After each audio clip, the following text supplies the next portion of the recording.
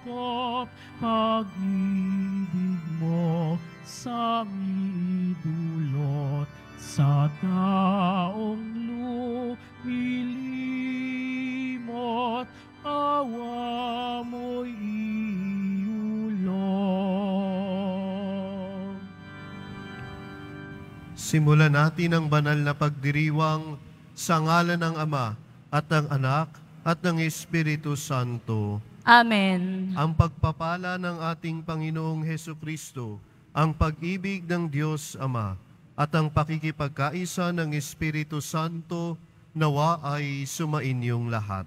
At sumaiyo rin. Mga kapatid, aminin natin ang ating mga kasalanan upang tayo ay maging marapat gumanap sa banal na pagdiriwang.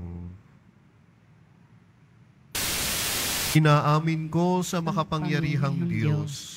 At sa inyo, mga kapatid, na luba ako nagkasala sa isip, sa salita at sa gawa, at sa aking pagkukulang, kaya isinasamo ko sa mahal na Birheng Maria, sa lahat ng mga anghel at mga banal, at sa inyo, mga kapatid, na ako'y ipanalangin sa Panginoong ating Diyos. Kaawaan tayo ng makapangyarihang Diyos, patawarin tayo sa ating mga kasalanan, at patnubayan tayo sa buhay na walang hanggan. Amen. Panginoon, kaawaan mo kami. Panginoon, kaawaan mo kami. Kristo, kaawaan mo kami. Kristo, kaawaan mo kami. Panginoon, kaawaan mo kami. Panginoon, kaawaan mo kami. Manalangin tayo.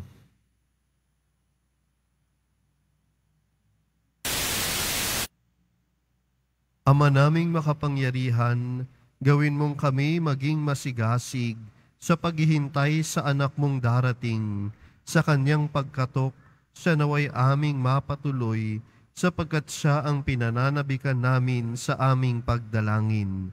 Sa pamamagitan niya, kasama ng Espiritu Santo, magpasawalang hanggan. Amen. Magsayo po muna po ang lahat.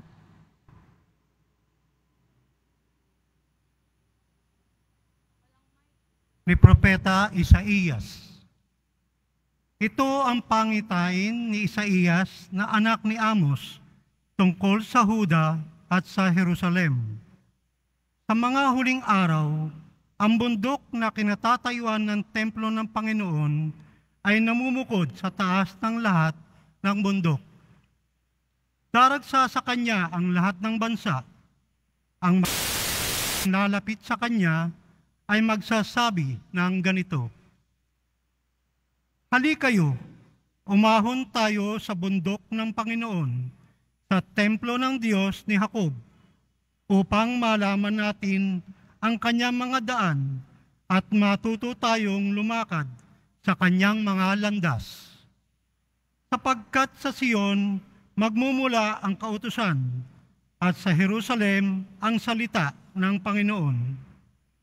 Siya ang mamamagitan sa mga bansa at magpapairal ng kapayapaan. Kung magkagayon, gagawin na nilang sudsod ang kanilang mga tabak at karit ang kanilang mga sibat.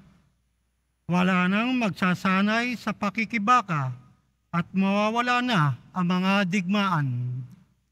Halina kayo, sambahayan ni Jacob at tayo'y sa liwanag ng Panginoon.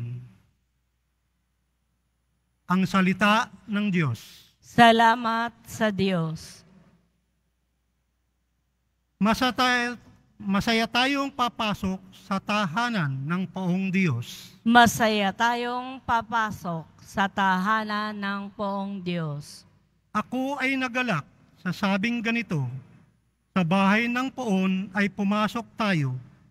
Sama-sama kami matapos sapitin ang pintuang lungsod nitong Jerusalem. Masaya tayong papasok sa tahanan ng poong Diyos. Yaong Jerusalem, kay ganda ng anyo, maganda ang ayos ng muling matayo. Dito umaahon ang lahat ng angkan, lipi ni Israel upang magsambahan. Masaya tayong papasok sa tahanan ng poong Diyos. Ang hangad, ang poon ay pasalamatan, pagkat ito'y utos na dapat gampanan. Doon din naroon ang mga hukuman at trono ng haring hahatol sa tanan. Masaya tayong papasok sa tahanan ng poong Diyos. Ang kapayapaan nitong Jerusalem, sikaping ang poon, yaoy idalangin, ang nangagmamahal sa iyo'y papahiin. Pumayapa nawa ang banal na bayan, at ang palasyo mo ay maging tiwasay. Masaya tayong papasok sa tahanan ng poong Diyos. Dahilan sa aking kasama't katoto, sa iyo, Jerusalem, ang sabi ko'y ito, ang kapayapa ay laging sumaiyo. Dahilan sa templo ng poon, ating Diyos, ang aking dalangi, umunlad kang lubos. Mas papasok sa tahanan ng poong Diyos. Magsitayo na po ang lahat.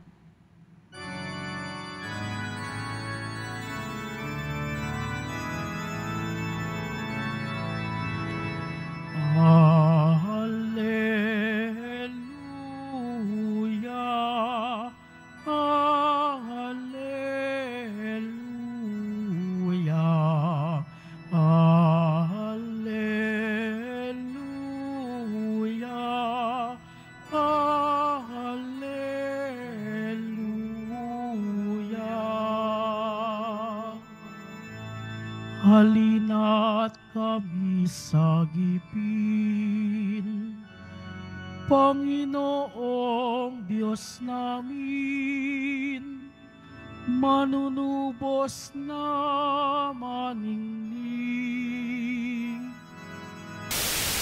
Hallelujah. Hallelujah.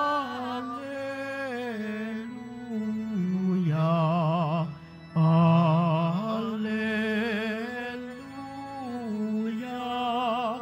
Hallelujah.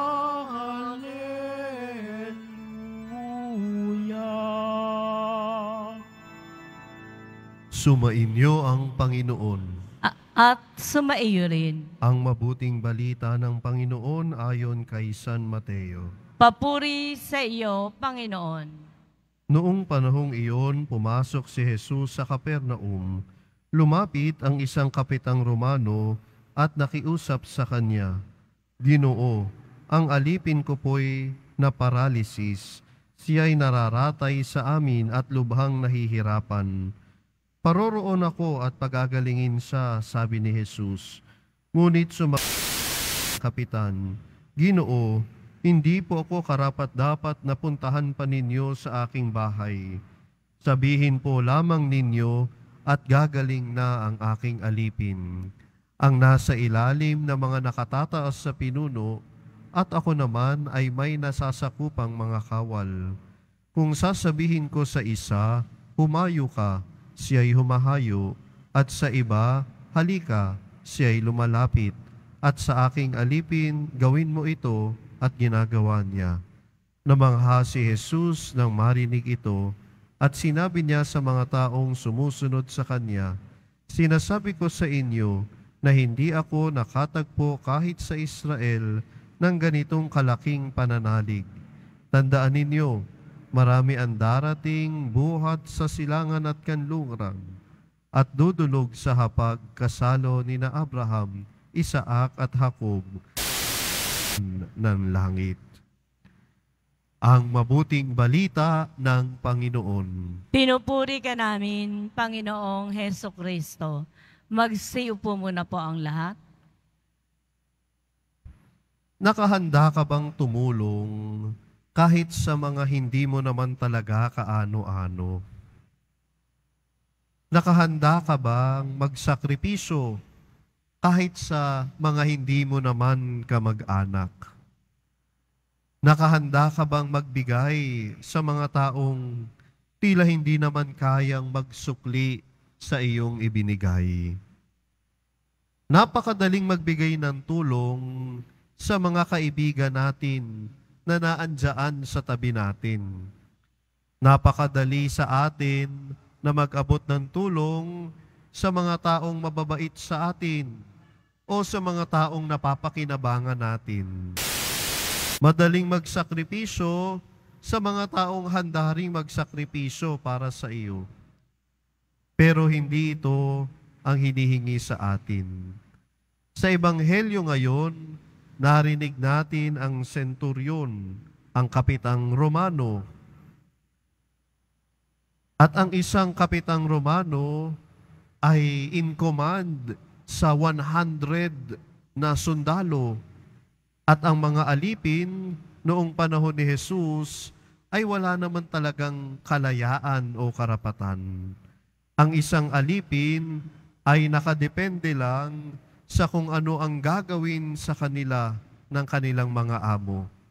And they are not seen as a person, but as objects at the disposal of their masters.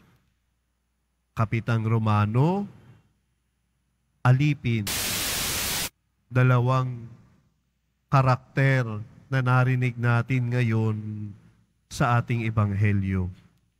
At kakaiba at kahanga-hanga ang narinig natin ngayon. Narinig natin kung gaano pinahalagahan ng Kapitang Romano ang kanyang alipin. Sapagkat hindi siya basta alipin sa halaga na ipinakita ng Kapitang Romano sa isang tao, isang kaibigan, isang miyembro ng pamilya, kahit na hindi kadugo, kahit na walang halaga sa mata ng ibang tao, para sa Kapitang Romano, may halaga ang kanyang alipin.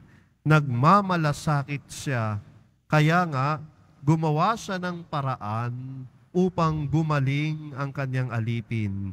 At sa paggawa niya ng paraan, makin kung paanong lumapit ang Kapitang Romano kay Jesus. Oo, may posisyon siya. Siya nga ang kapitan. Oo, may kapangyarihan ng senturyon sapagkat mataas ang kanyang estado sa buhay. Oo, at kaya niyang mag-utos. Ngunit hindi niya ginamit ang kanyang posisyon o kapangyarihan. Pwede naman niyang sabihin sa isang daang sundalo ang susunod sa kanya. Pwede niyang sabihin doon sa limampu, lumapit kayo kay Jesus at sabihin mo, pagalingin ang isang alipin ko.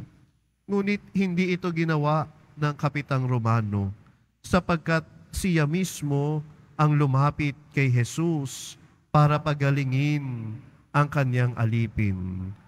Pwede naman niyang gamitin ang kanyang posisyon upang maabisuhan si Jesus nais. Ngunit, personal na lumapit ang senturyon kay Jesus. Personal siyang humiling kay Jesus. At nabatid ni Jesus ang laman ng kanyang puso. Nadinig ni Jesus ang kabutihan ng kanyang intensyon. Nakita ni Jesus ang pananampalataya ng Kapitang Romano. Kaya nga noong sinabi ni Jesus na pupuntahan niya ang alipin ng Kapitang Romano, ipinahayag ng Kapitang Romano ang kanyang hindi pagiging karapat-dapat sa pagtanggap kay Jesus. Naniniwala ang senturyon na isang salita lang ni Jesus, gagaling na ang kanyang alipin. Sapagkat ang kanyang pananampalataya kay Jesus ay matibay Ang kanyang buong sa kapangyarihan ni Jesus, ang makapagpapagaling sa mga may sakit ay lubos at buo. Na ang isang salita lang ni Jesus ay nakagagaling na. Isang wika lang ni Jesus ay makapangyayari na ang lahat. Napakatibay ng pananampalataya ng Kapitang Romano. Buong buo ang kanyang tiwala kay Jesus. Mga kapatid, hindi kailangan ng katanyagan, kapangyarihan at kayamanan sa paglapit natin kay Jesus. Ang kailangan lang ay pananalig. Ang kailangan lang ay pananampalataya. Ang kailangan lang ay tiwala kay Jesus. Marami tayong mga hinaing sa buhay. Napakarami nating mga pinapasa na problema.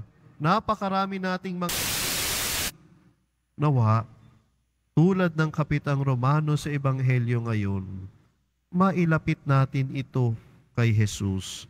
Mailapit natin ito sa mahal na pong Jesus Nazareno. Ilapit natin ito kay Jesus. Magpakumbaba tayong hingin sa Kanya ang kagalingan at kapanatagan sa buhay. Ngunit, maganda din paalala sa bawat isa sa atin, huwag puro sarili ang isipin. Matuto din tayong ilapit ang ating kapwa kay Jesus. Huwag puro sarili, huwag puro ako at ako at ako. Alalahanin din natin ang ating kapwa. Ang ating kapwa na nangangailangan ng iyong tulong at panalangin. Ang iyong kapwa na kapos at naghihikahos. Mailapit mo din sila kay Jesus. Maalala mo din sila na banggitin kay Jesus sapagkat ang pananampalataya kahit na anong sukat, ilapit mo ito kay Jesus. Mga minamahal na kapatid, ito ang hamon sa atin ngayong araw na ito.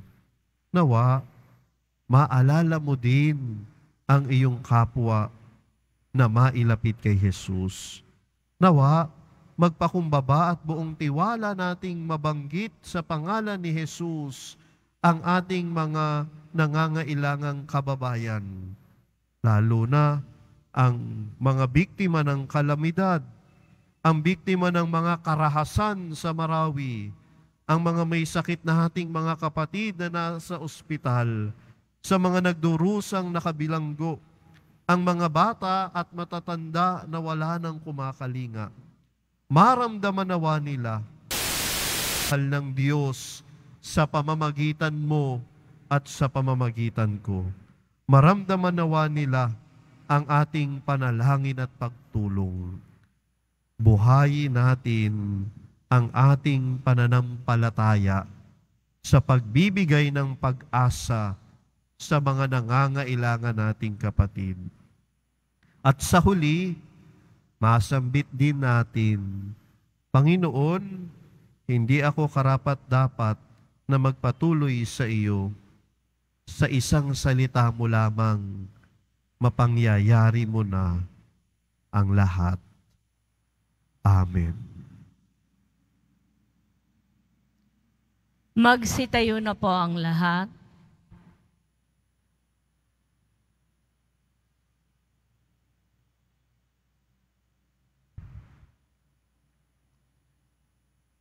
Minamahal sa pagpasok natin sa panahon ng Adbyento, idalangin natin ang buong puso sa Diyos na ating Ama na ang pagkakataong ito ay maging bagong simula ng biyaya na magbunga ng kapakinabangan para sa ating lahat. Diyos ng awa, dinggin mo ang aming panalangin. Diyos ng awa, dinggin mo ang aming panalangin. Ang mga naglilingkod sa simbahan, naway makapaghatid ng liwanag ng Ibanghelyo sa buong sangkatauhan. Manalangin tayo. Diyos ng awa, dinggin mo ang aming panalangin. Sa ating sariling buhay, naway maipakita natin sa mga nangangailangan ang ating tulong na pag-ibig at habag. katulad ng ipinamalas ng kapitan ng mga sundalong Romano sa kanyang utos. Manalangin tayo. Diyos ng awa, dinggin mo ang aming panalangin. at tinawang unawain at tanggapin ang mga taong iba ang lahi at pananampalataya kaysa sa atin. Manalangin tayo. Diyos ng awa, dinggin mo ang aming panalangin. Sa ating pagdurusa, ang mga matatanda, mga nangungulila at mga may sakit, naway paginhawahin ng pag-ibig ng Diyos. Manalangin tayo. Diyos ng awa, dinggin mo ang aming panalangin. ang mga kapatid nating namayapa na, naway makatagpo ang Panginoon, na pinananabikan nilang makapiling. Manalangin tayo. Diyos ng awa, dinggin mo ang aming panalangin.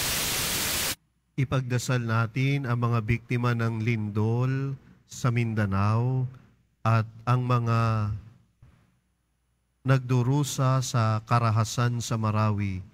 Nawa ay maging matatag sila sa mga hinaharap sa buhay. Manalangin tayo sa Panginoon. Diyos ng awa, dinggin mo ang aming panalangin. Ama naming Diyos, tulungan mo kaming lumago sa pagkamahabagin at makapagbigay ng pag-asa sa lahat ng nakadaupang palad namin. Ilapit nawa kami ng panahong ito ng adbyento sa iyo at sa isa't isa, habang masaya naming hinihintay ng may buong pag-asa ang pagdating ng iyong anak, ang aming tagapagligtas na si Heso Kristo na aming Panginoon. Amen. Magsiupo muna po ang lahat. Panginoon,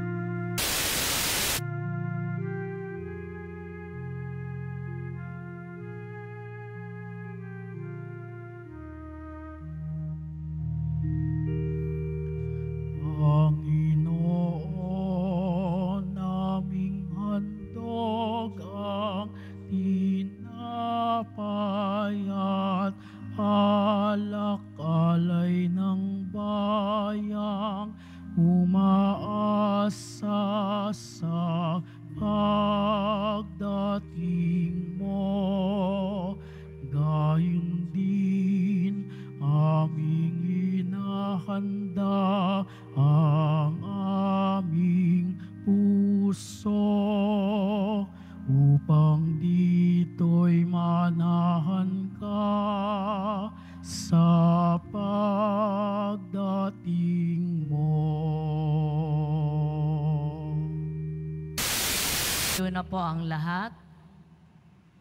Manalangin kayo mga kapatid upang ang paghahain natin ay kalugdan ng Diyos samang makapangyarihan. Tanggapin nawa ng Panginoon itong paghahain sa iyong mga kamay, sa kapurihan niya at karangalan, sa ating kapakinabangan, at sa buong sambayanan niyang banal. Ama naming lumikha, tanggapin mo ang aming mga alay na ikaw rin ang nagbigay. Magdulot nawa ito ng gantimpalang kaligtasan na ngayon pa man ay amin ang pinakikinabangan. Sa pamamagitan ni Yesu Kristo, kasama ng Espiritu Santo, magpasawalang hanggan. Amen. Sumainyo ang Panginoon. At sumaiyo rin, Itaas sa Diyos ang inyong puso at diwa. itinaas na namin sa Panginoon. Pasalamatan natin ang Panginoong ating Diyos. Marapat na siya ay pasalamatan. Makapangyarihan, tunay ngang marapat na ikaw ay aming pasalamatan sa pamamagitan ni Heso Kristo na aming Panginoon. Siya'y isinugo mo upang matupad ang iyong magandang balak para sa lahat. Hindi niya ikinahiyang mamuhay ng mahirap upang mapakisamahan niya kaming matapat. Siya'y naging hindi na iba sa amin upang maitampok niya kami sa iyong piling. Sa kanyang lantarang muling pagdating, ang pakikisama niya ay puspusang magniningning at ang pangako niyang kapanapanabik ay inaasahan naming lubos na makakamit. Kaya kaisa ng mga anghel na nagsisiawit ng papuri sa iyo nang walang humpay sa kalangitan, kami nagbubunyi sa iyong kadakilaan. Santo, Santo, Santo, Panginoong Diyos ng mga hukbo, napupuno ang langit at lupa ng kadakilaan mo. Na sa kaitaasan, pinagpala ang naparirito sa ngalan ng Panginoon. O sana sa kaitaasan, magsilot po ang lahat. Ama naming banal, ikaw ang bukal ng tanang kabanalan. Kaya't sa pamamagitan ng iyong Espiritu, gawin mong banal ang kaloob na ito upang para sa amin maging katawan at dugo ng aming Panginoong Heso Kristo.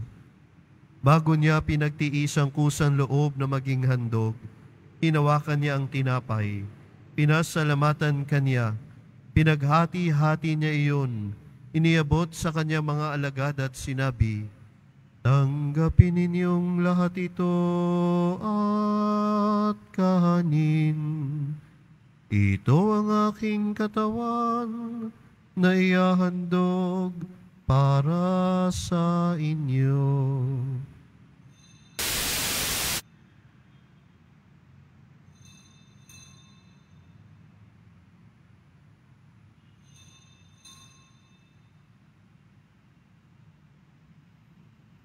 Kaya hindi naman nung matapos ang hapunan, hinawakan niya ang kalis.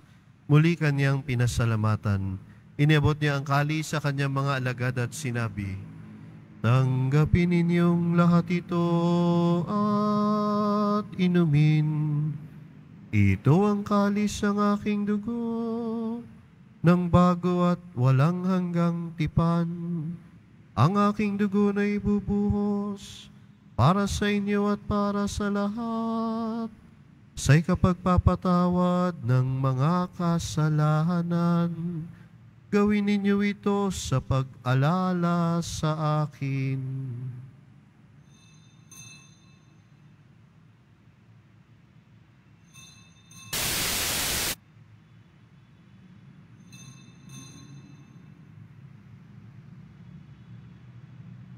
Magsitayo na po ang lahat.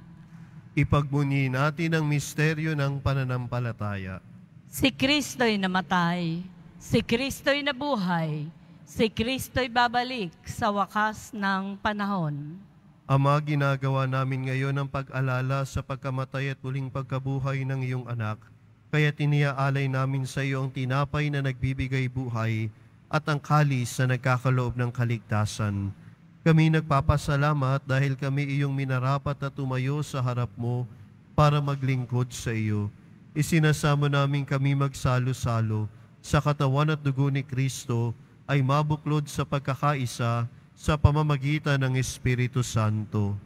Ama, lingapin mo ang iyong simbahang laganap sa buong daigdig. Puspusin mo kami sa pag-ibig. ko na aming Papa, ni Jose na aming Obispo, at ng Tanang Kaparian. Alalahanin mo rin ang mga kapatid naming nahimlay na may pag-asang sila'y muling mabubuhay, gayon din ang lahat ng mga pumanaw. Kaawaan mo sila at patuloyin sa iyong kaliwanagan. Kaawaan mo at maging tapatin kaming lahat na makasalo sa iyong buhay na walang wakas. Kaisa ng mahal na Birheng Maria na ina ng Diyos, ng kabiyak na puso niyang si San Jose, kaisa ng mga apostol ni San Juan Bautista, San Benito, San Beda, Santa Teresita, Santo Padre Pio, at ang lahat ng mga banal na namuhay dito sa daigdig ng kalugod-lugod sa iyo. Maipagdiwang nawa namin ang pagpupuri sa ikararangal mo sa pamamagitan ng iyong anak na aming Panginoong Heso Kristo. Sa pamamagitan ni Kristo, kasama niya at sa Kanya, ang lahat ng parangal at papuri ay sa iyo, Diyos samang makapangyarihan, kasama ng Espiritu Santo, magpa sa walang hanggan. Amen. Sa tagubiling ng mga nakagagaling na utos at turo ni Jesus na Panginoon natin at Diyos, ipahayag natin ang lakas loob. Ama namin, Sumasalangit ka, sambahin ang ngalan mo, mapasa amin ang kaharian mo, sundin ang loob mo dito sa lupa para nang sa langit. Bigyan mo kami ngayon ng aming kakanin sa araw-araw.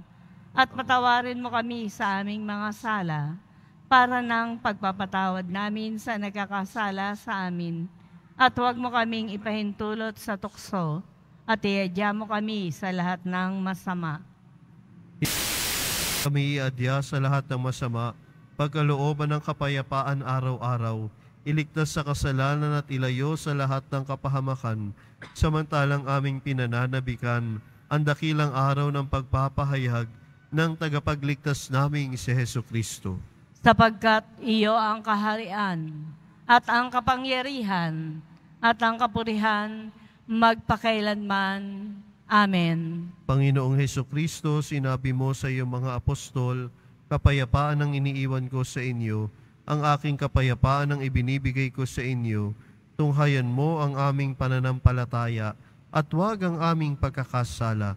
Pagkalooban mo kami ng kapayapaan at pagkakaisa ayon sa iyong kalooban, kasama ng Espiritu Santo, magpa sa walang hanggan. Amen. Ang kapayapaan ng Panginoon nawa ay laging sumainyo. At sumaiyo rin. Magbigay kapayapaan sa isa't isa. Peace be with you. Kordero ng Diyos na nag-aalis ng mga kasalanan ng sanlibutan, maawa ka sa amin.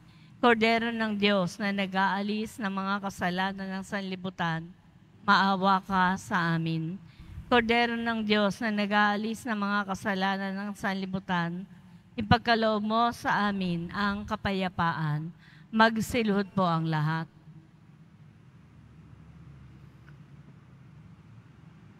Ito ang kordero ng Diyos.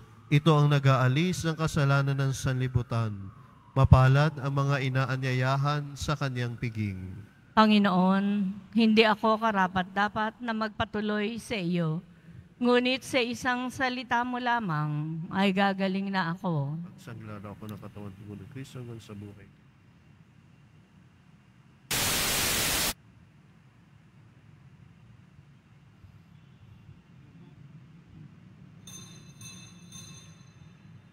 Para po sa lahat ng tatanggap ng banal na komunyon, sasagot po tayo ng amen. Pagkasabi po ng pari o ng lay ministers ng katawan ni Kristo at isubo po agad sa bibig bago umalis sa harapan ng pari o ng lay ministers.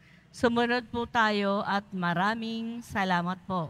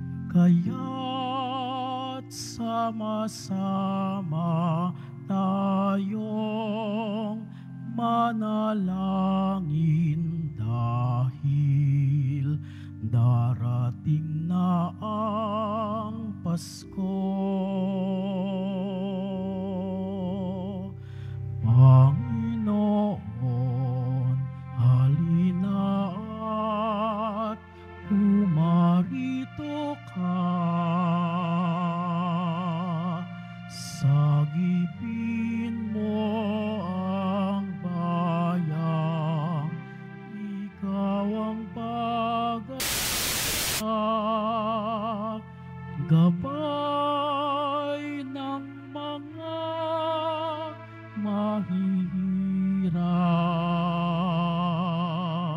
Panginoon, iligtas mo ang iyong bayan. Di ba't kay saya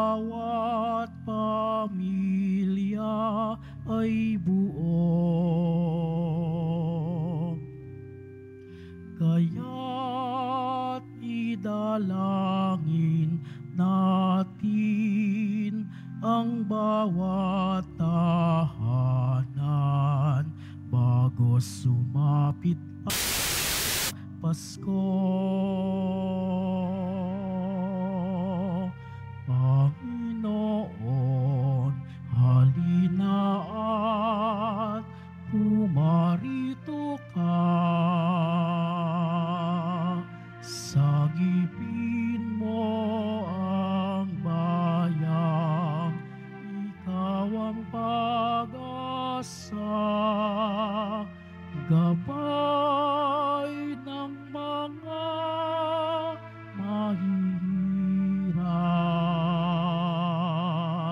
Panginoon, iligtas mo ang iyong bayan.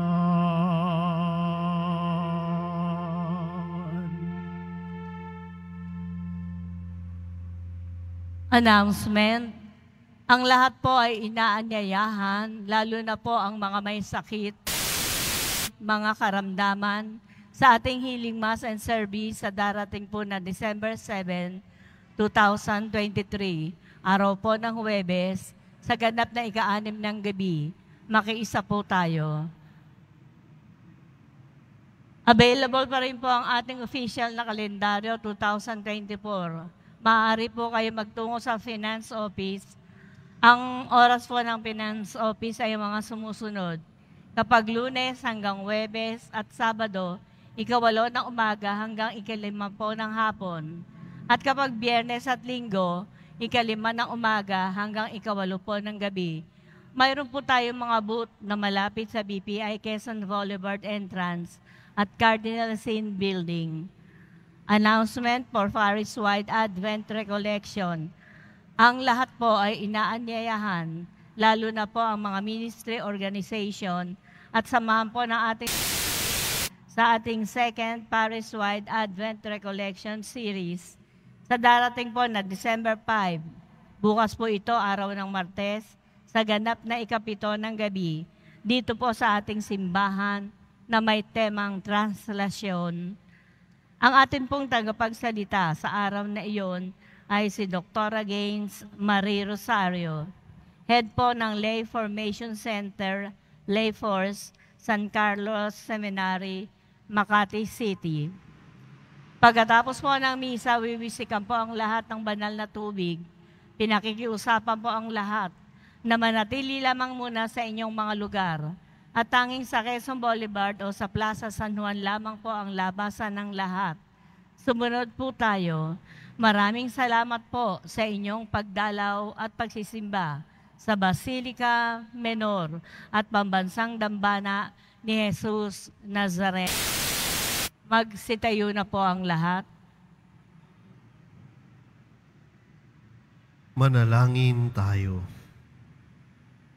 Ama naming mapagmahal, mapakinabangan nawa namin ang aming pinagsaluhan upang sa aming paglalakbay dito sa lupang ibabaw, aming mapanaligan ang iyong pagpapalang pang magpakailanman sa pamamagitan ni Heso Kristo kasama ng Espiritu Santo magpa sa walang hanggan. Amen. Sumainyo ang Panginoon. At sumaiyo rin.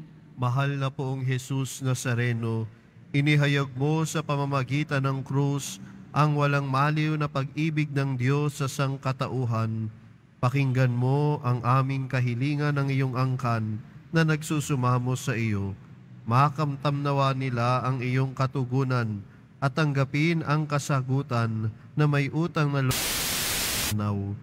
Basbasan din po ninyo ang mga daladala nilang mga imahe at dasalan sa pamamagitan ng bendisyon na ito naway maalala nila ang mga pangako nila noon sa binyag na ikaw ang kanilang iibigin at paglilingkuran bilang Panginoon magpa sa walang hanggan. Amen. At pagpalain kayo ng makapangyarihan at mapagmahal na Diyos, Ama, Anak, at Espiritu Santo. Amen. Naialay na natin ang misa. Humayo kayong taglayang kapayapaan ng poong Jesus Nazareno. Salamat sa Diyos!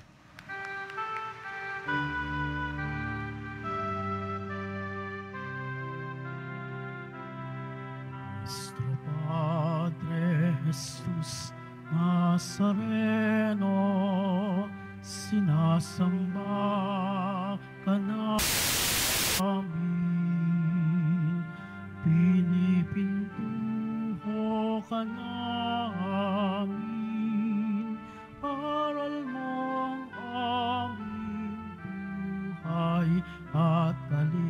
Kaligtasan.